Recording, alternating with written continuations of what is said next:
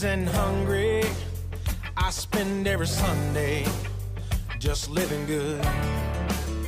Might do a little fishing, a little hunting on the weekend. With a bow, I'll be sneaking back in the woods.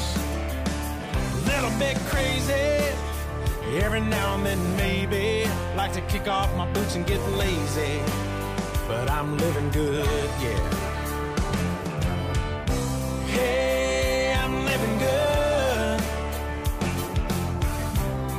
Just a redneck Robin Hood.